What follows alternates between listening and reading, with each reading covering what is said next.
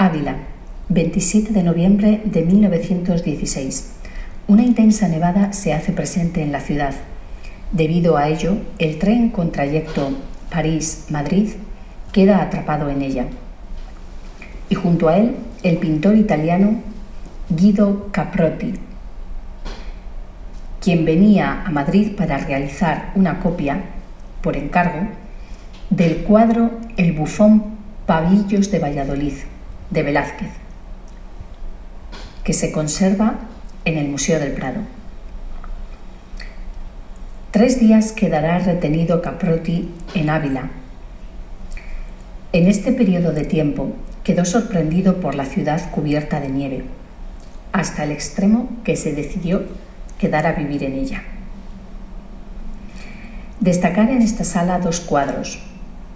Uno, La Gran Nevada, haciendo referencia a su primer contacto con la ciudad, y la ermita de Nuestra Señora de las Vacas. Es, por antonomasia, Nuestra Señora de las Vacas uno de los ejemplos vivos de la devoción popular. Junto a estas dos obras puede ver diferentes vistas de Ávila Nevada, como la que se representa en el lienzo norte de esta sala, o la vista de la iglesia de Santiago. A continuación, diríjase a la siguiente sala.